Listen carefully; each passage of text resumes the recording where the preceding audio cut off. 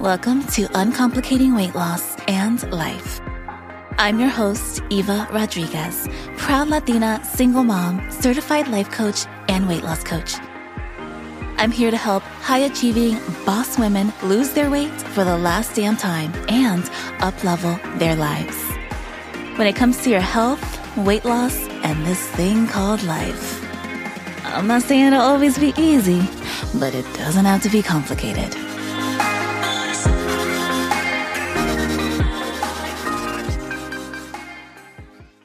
Welcome back for part two of the Back to the Basics series.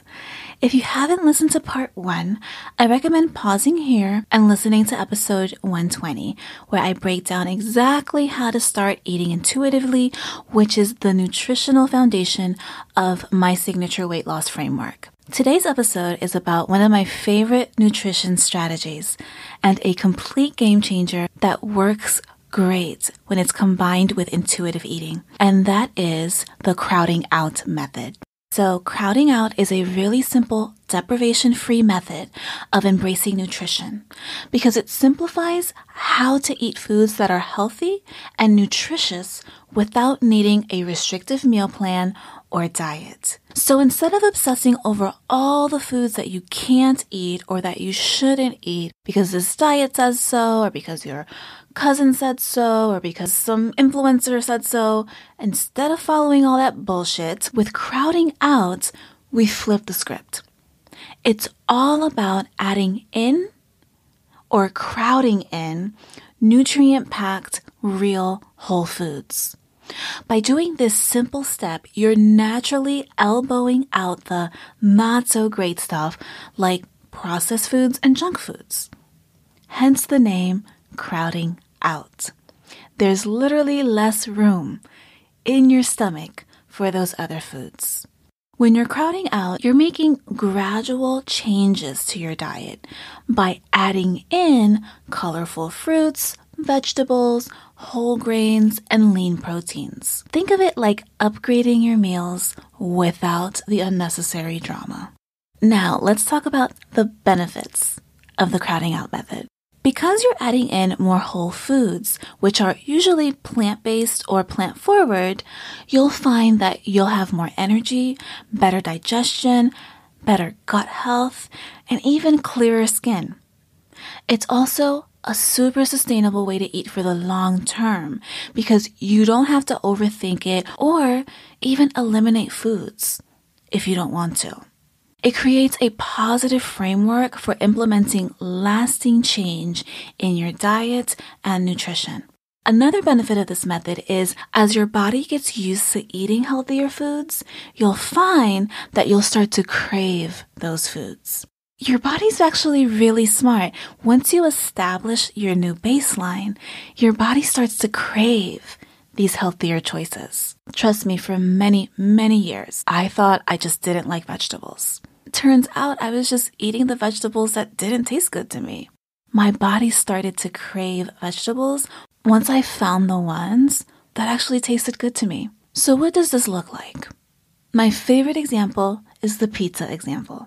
I have yet to meet someone who doesn't like pizza. This is how you can still eat pizza and not overindulge by using the crowding out method. You simply eat a small salad before you eat the pizza and then watch what happens. What you'll find is that if you start with a salad, you won't overindulge and eat the entire box. There is a big difference in how you eat pizza if you come into it with some salad in your stomach versus coming into it starving and stressed out. I know I'm not the only one who has emotionally eaten an entire pizza. Am I right? Is it just me? this will definitely help you to not overdo it, even if you are having an emotional eating moment. Another benefit that I love about crowding out is how much it helps us get in touch with our body's natural rhythms you'll really start to learn how to be more intuitive with your body by using this method. And my weight loss framework is based on intuition, starting with intuitive eating, but also just learning how to really dig deep within yourself, within your gut, within your intuition. Because one thing I always say, we cannot trust our thoughts because they can change very quickly, but your body will never lie to you as long as you're paying attention. So here are five tips to start using the crowding out method in your daily diet starting today. Tip number one, drink more water. Sometimes what we experience as cravings or hunger is actually our body's misunderstood signals of dehydration. So you may think you're hungry, but you're really just thirsty. A really great way to figure out if you're genuinely hungry is to just have a glass of water first and then just wait 15 minutes. Then you'll check in with yourself and see if you're still hungry. Sometimes we'll feel a little something that feels like a hunger pang, and we think it's time to eat, when really, you just need some water.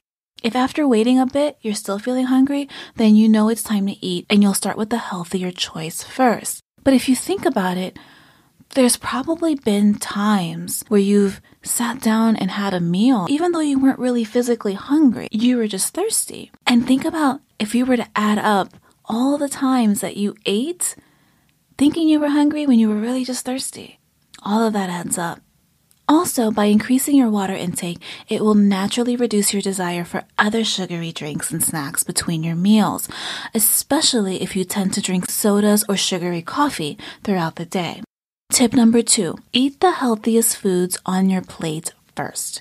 So if you first eat a salad or raw vegetables or cooked vegetables, you're going to be much less likely to overconsume starchy foods or the dessert afterwards because you're front loading your meal with the nutrients and the fiber that not only fill you up, but it gives your body the opportunity to get all the nutrients that are going to nourish your body. You'll still be able to enjoy whatever your meal or treat is, but you're not going to overindulge. And the key here is to not overeat.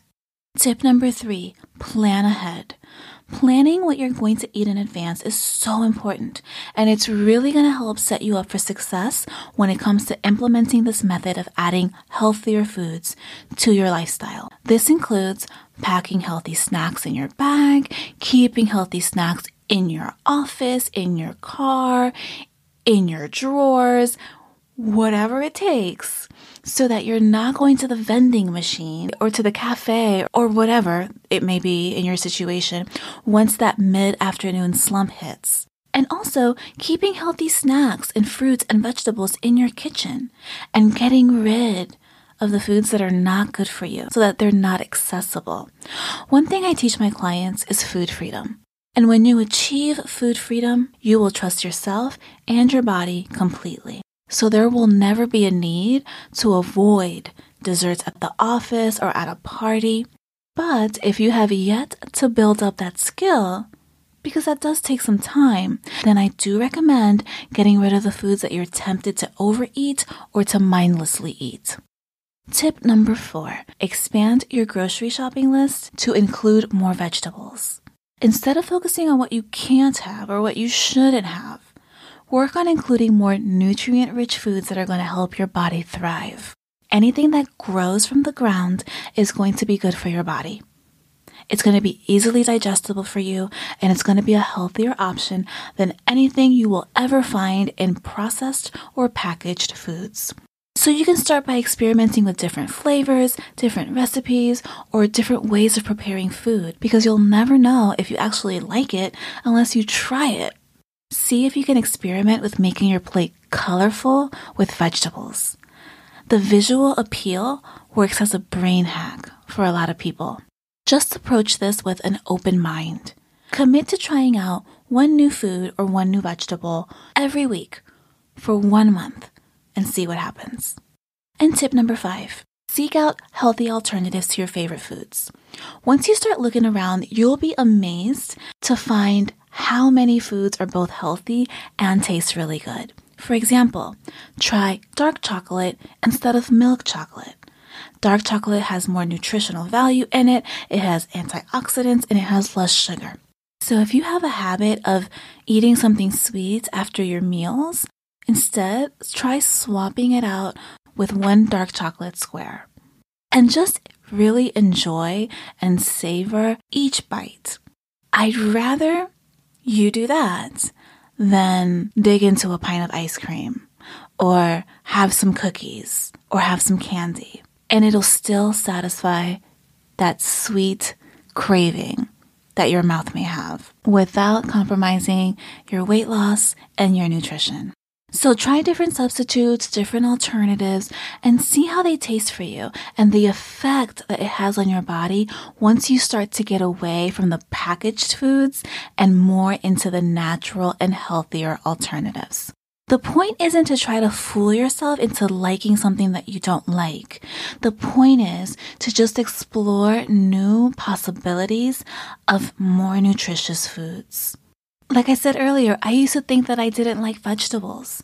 And it's probably because my mom used to try to make me eat fucking okra and Brussels sprouts. Now I know that there are so many different varieties of vegetables and I just prefer raw over cooked. You will find your own preferences as you try different things, but you gotta try them. It's so important to expand your palate. Think of crowding out as taking control of your health by front loading your food choices with healthier ones so that you can be free to enjoy whatever is left over if you're still hungry. Crowding out supports you in choosing to do the things that are going to get you closer to your goals first. This is another example of simple yet transformational self care. And it's simple enough that you can start using this method with your very next meal. If you want to learn how to lose your first or last 15 pounds without depriving yourself of your favorite foods, book a call with me and let's see if my one on one coaching is right for you. You will find the link below in the description. And that's all for today. Bye for now. Thanks so much for tuning into today's episode.